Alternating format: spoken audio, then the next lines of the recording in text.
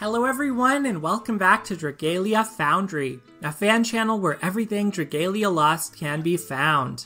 This video is an investment guide covering some of the best 4-star adventurers in Dragalia Lost as of October 2020. I'm making this video by popular demand since I've read a lot of comments clamoring for advice on which lower rarity adventures to build up and sink resources into. If you're newer to Dragalia Lost, you may be wondering why you should build a 4-star unit in the first place. I see a lot of newer players gravitate only toward the 5 stars in their collection, and there's nothing wrong with that, but you probably have some hidden gems in your roster at the 4 star rarity you could be using.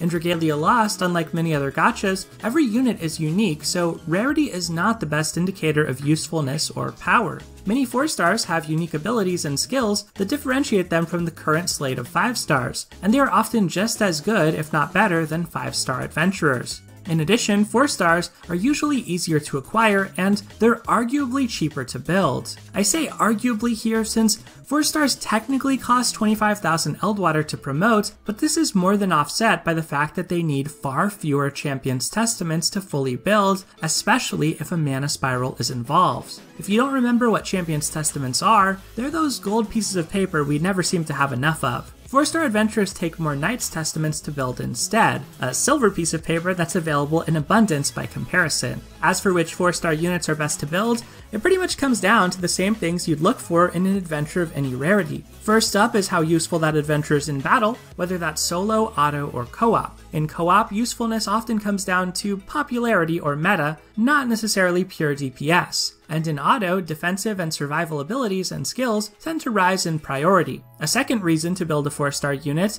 is that you want them as a backliner for another unit. Each adventurer has their own co-ability and chain co-ability combination in Dragalia Lost, and some of the combinations found on 4-star adventurers aren't yet available at a 5-star rarity. And finally, a third reason you might want to build a 4-star adventurer is that they have a useful shared skill. These typically take elemental tomes and at least 50 mana nodes to unlock, although story characters have their shared skills unlocked for free, and spiraled skills require even more nodes to use. And speaking of story characters, that's where we'll start for this video since they're available to all players and they're a little cheaper to build when it comes to their shared skills. After that, I'll list out my top 5 adventurers for in battle purposes at the 4 star rarity, meaning the characters you'd actually want to take to solo, auto, or co op content. And finally, to round things out, I will list my top 10 4 star adventurers from the perspective of backliners or for their shared skills. Those being the characters you don't necessarily want to take into battle, but that you may want to build up for other reasons. So let's get started with some of the best story adventurers. The story characters are sort of graded on a curve here since they are cheaper to build, at least when it comes to shared skills, than other characters. For example, Elisanne is a really strong buff bot, but not one you see too often these days in the Expert Twins Wrath or the endgame in general. Having said that, her shared skill, if you just promote her, is very solid considering it's unlocked for free. And as for my opinion on whether to mana spiral Elisanne or not, I would lean toward probably not. I don't think it's necessarily worth the resources, depending on your stage of progression in the game and what you plan to do with her. As for Ranzal, I would say he also has a great shared skill that's available for free, but primarily once you mana spiral him, which does require more investment. You'll want to do that though, since it's one of the only options available for a shared skill with Dispel. It also has a decent damage modifier and causes poison. And in fact, Ranzal is good for a lot of auto autoplay as well, since his second skill, once he's been mana spiraled, can provide life shields, he's got a nice defensive co-ability, so he's probably even better than Elisanne in that regard. As for Euden, Euden is somebody you'd want to promote to get the player EXP plus 15% ability, and eventually you might want to consider mana spiraling him if you really want to use him as a dragon-centric ramping character that can run in co-op just fine and also do quite well in solo play. He's certainly an interesting character, one that you might want to have on your backlines in general for player EXP, and a pretty good investment in his own way. And finally, when it comes to Cleo and Luca, Cleo is a great all-purpose healer, her shared skills unlocked for free. It's a decent heal, cures paralysis. She's got Dispel on her 4 strike if you mana spiral her. And as for Luca, he has Dispel on his second skill, dual resistances, which is good for Tartarus' Wrath, and his shared skill is kind of unremarkable. Anyway, with the story characters aside, let's get into the characters that are available in the summoning pool. We're going to talk about the 4 stars that you actually would want to use in battle, and as it so happens, many of these 4 stars also just so happen to have good shared skills or be good backliners in their own right. So, coming in at number 1, I have to say Halloween Lowen probably the best overall 4 star to invest into. Halloween Lowen is a fantastic healer. His first skill provides a combination of a defense buff, a strength buff, and healing regeneration over time. It's excellent for keeping everybody healthy. That defensive buff is going to be able to trigger double buff abilities across your entire team. And his second skill gives your entire team a max HP boost, which caps off at plus 30% max HP. It's great for protecting people from getting one shot in co-op settings, even in solo or auto play. Halloween Lowen is a staple healer. He is really, really fantastic, and his first skill happens to be a great shared skill as well. So Halloween Lowen, probably my number one recommendation as far as which four stars to build. Coming in at number two is Templar Hope. Templar Hope, similar to Halloween Lowen, great in co-op, great in auto. Defensive utility is something that seems to be at a priority right now in the game, and uh, Templar Hope kind of does it all. Even before 2.0, he was a solid unit used to auto Expert Ciella's Wrath, but after version 2.0 and the second anniversary, they added a strength buff on his first skill. So now, not only can he keep the team healthy with his combination of a first skill that buffs defense plus a third ability that has healing double buff, well, he can also buff their strength along the way and trigger any double buff abilities on your teammates, similar to Halloween Lowen. So Templar Hope is an amazing unit. He has dual resistances to freeze and bog, which makes him the de facto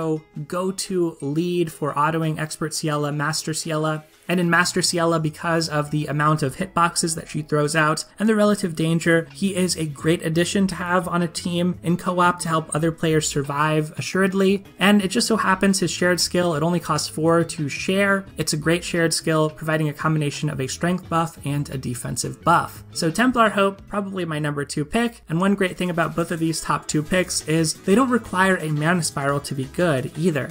Now my third pick is a little bit different in that respect since it's Patia and you would want to Mana Spiral her to make the most out of her. But similar to Templar Hope, her first skill, once she is Mana Spiraled, is going to give a combination of a defense buff plus a strength buff. She also has access to Bleed on her second skill, which is a decent source of damage, and besides that, she's in a different element. A survival co-ability is available to her, she has the HP co-ability, so she is a great choice for autoing in light content, whether that's High Jupiter's Trial, whether that's Kai Yan, she is a go-to for that. She's an excellent teammate for Grace because she's going to increase Grace's max HP thanks to her co-ability. Her defensive buffs are going to allow Grace to heal up via healing double buff, which is also nice. And having defensive buffs across your teams is going to mean you're eating into Grace's life shields at a slower rate, giving her plenty of time to cast a new one once the first one runs out. So Patia similarly runs the gamut. She's used in auto clears for Expert Kai Yan. She's used in co-op for Master Kai Yan, where you'd want to probably equip her with Azazel if you have that available. And her shared skill, similar to Templar Hope, similar to Halloween Lowen, is an excellent shared skill with a combination of strength and defensive buff. It costs a little bit more to equip than Templar Hopes. It costs five, but nevertheless, it's definitely one that is worth it.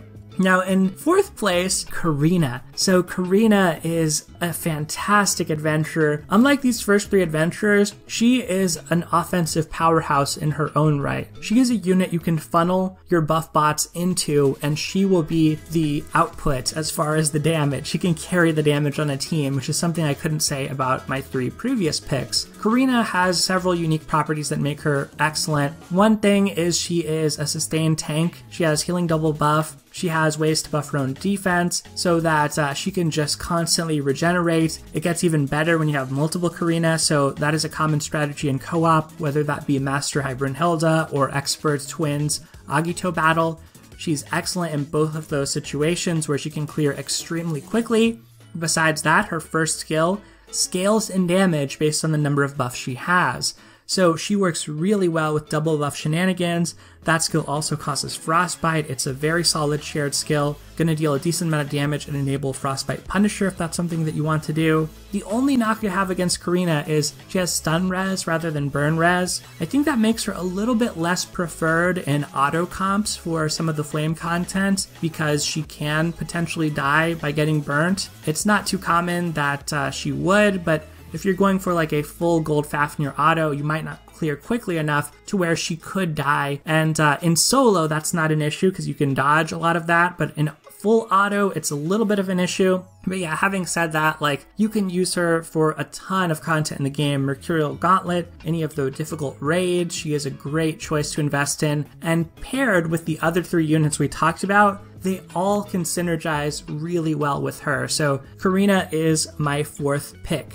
Now, coming in at number five, gotta go with regular Lowen. Regular Lowen, the only thing he lacks that Halloween Lowen has is his shared skill isn't really all that. For regular Lowen, both his uh, defensive buff and max HP buff are on his second skill, which is not the shared skill. So, regular Lowen, you're want to use him in your auto comps for Expert Ciella, Master Ciella. He's good in Master Ciella co op. He is just a good all around healer, but you don't necessarily want to share his skill. So he's not as universally useful. You also want to mana spiral him, similar to Karina and Patia, so a little bit higher level of investment. But once you do mana spiral him, he's kind of similar to Cleo. He's going to get access to a Dispel. He has some nice regen action happening. All in all, regular Lowen, very solid healer, good for co op, solo, auto, but he just doesn't have that shared skill that puts him on another level like the first four adventurers I just listed. And finally, my runner up pick as far as characters you'd actually want to bring into battle, well, I've got to give the runner up slot to Pipple. Pipple is one who, for a long time, was a dominant force in co op. You used to see it in High Brunhilda's trial. I think you used to see a decent amount of Pipple rooms in the Twins, Wrath, Agito battle, but I just feel like Pipple isn't as prevalent as he used to be. His shared skill is more niche than any of the other characters we talked about, uh, so far, with the exception of regular Lowen. When it comes to Pipple,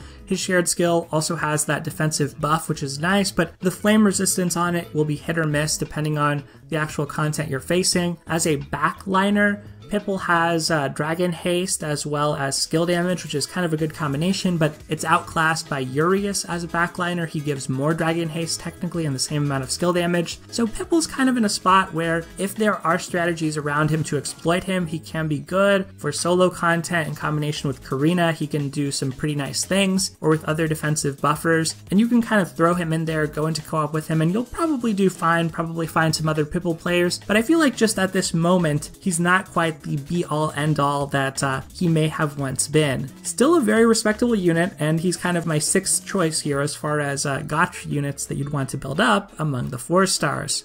Alright, with those mentioned, we've kind of covered the story characters, we've covered some of the characters you'd want to build up for battle. If you want any further details on any of these characters or the ones I'm about to cover, that will be available to you via the Dragalia Lost Wiki. I'm not going to go into the technical specifics in this video, but for the rest of the video, I want to discuss who are some 4 stars you would build up mainly for the purpose of them being a backliner or for their shared skill, but not necessarily to actually bring into battle.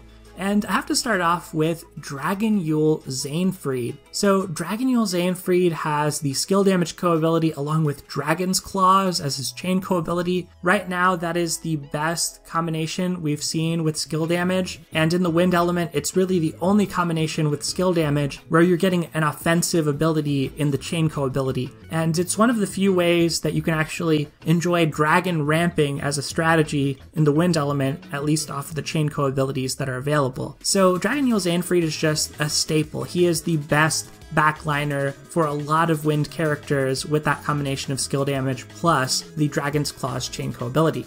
Coming in at number two here, I have to mention Summer Estelle. Summer Estelle, kind of in a similar position. She is a water wand, so you're getting skill damage, but her chain co ability is buff time. And there are a decent amount of water characters who want skill damage and have some amount of buff action in their kit, such as Karina, that would want to look at a character like Summer Estelle to get that enhanced skill damage and at the same time have their buffs last just a little bit longer. So Summer Estelle is good in that respect. She doesn't have a shared skill, and I should have mentioned with Dragon Xainfried, he has one, but it's not anything remarkable. Now, the next unit on this list breaks with that trend. So, next up, I want to mention Verica. Verica is probably the second best flame healer after Halloween Lowen. You could make the case for Yukata Cassandra, Orion, Valentine's Hildegard, they're all good in their own ways, but I think Verica has been a staple historically throughout the game's lifespan. She's able to cleanse stun, and that means her healing over time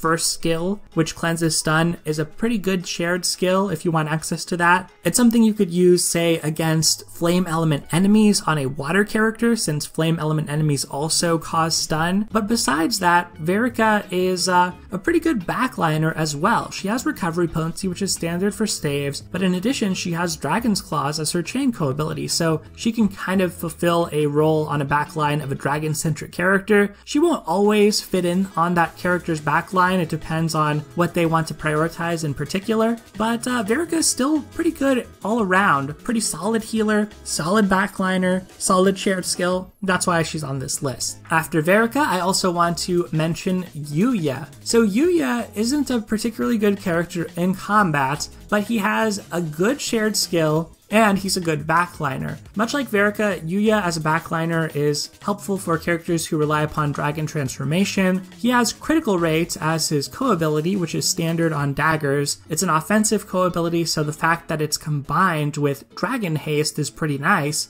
And that's kind of all it takes to make Yuya stand out. Now, in Flame, you also have access to Ezelith, who has combo time as a backliner, so she is sort of competition for him. But if you're using a dragon ramping character like Gala Mim or Euden, Yuya has a lot of appeal. Besides that, Yuya's shared skill is pretty interesting. Rowdy Rumpler, it's a little bit costly, but you do get a defense buff, a strength buff, and a shield, a one-use shield as well. So so it kind of works similar to some of the shared skills I like the most, like Templar Hopes and Patia's. After Yuya, I want to turn us to Sha Wujing. Sha Wujing is a character here basically purely for his shared skill. He's a 4 star you'd want to build up to use Light Tomes on, so that you can get his shared skill, which is right now the only shared skill that's going to apply a defense debuff zone. Now, if you're running in co-op with other players who have access to this, just be careful. You don't want to try too many of these. I think you can stack two of them together, but not more than that. But if you are looking for a sync for some of your light tomes, Sha Wujing is one of the better light shared skills. It's certainly not a must-have. You can use Patia, you can use Elisanne, and probably be just fine with some of these defense plus strength buffs or pure strength buffs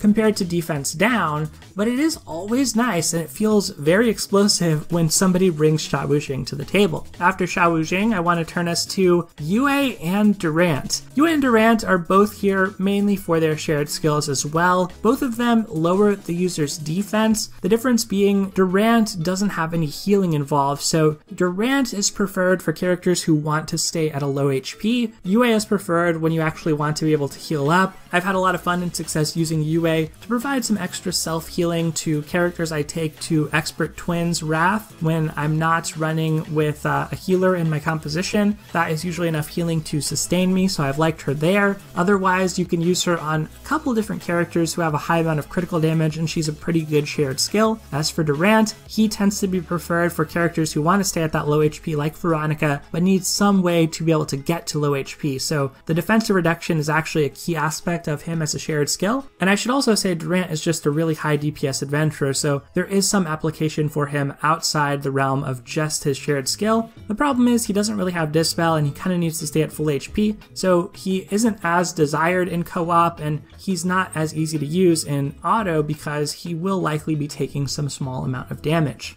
Another unit whose shared skill I think is worth shouting out is Summer Luca. Summer Luca's shared skill gives you energy and attack rate. Attack rate is pretty hard to come by. You really only see that on Mikoto as far as shared skills go and Summer Luca. And Summer Luca is going to be more available to more players if that's something that you want to unlock. I don't know that I would necessarily prioritize this very highly, but it is something special enough that I felt was worth mentioning. Now, besides Luca, Renee is another four star I think is worth your attention. In this case, mainly because of her co ability and chain co ability, but she also has sort of an interesting shared skill. If you've already gone to the lengths of building her up as a backliner, it might be worth also grabbing her shared skill. So when it comes to Renee as a backliner, she's going to give critical rate plus buff time. So similar to Summer Estelle that we talked about earlier, you may want access to a little bit of additional buff time while you're getting that critical rate co-ability within the water element. There are other daggers such as Dragonyule Cleo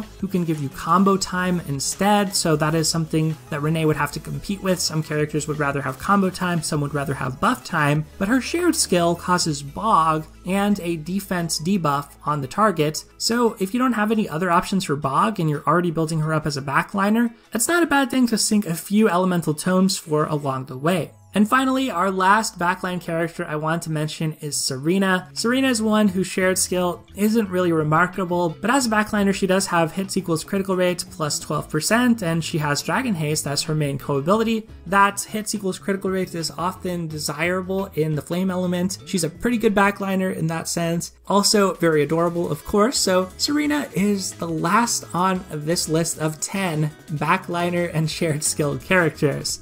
For my honorable mention this time, similar to how Pipple was my runner-up pick before, well, I'd have to give the nod to Eleonora. Eleonora has Skill Haste and Poison Edge, and there are some characters who want access to Skill Haste anyway, for whom having Poison Edge will be a pretty good option. So that pretty much covers it as far as the 4 stars I wanted to discuss.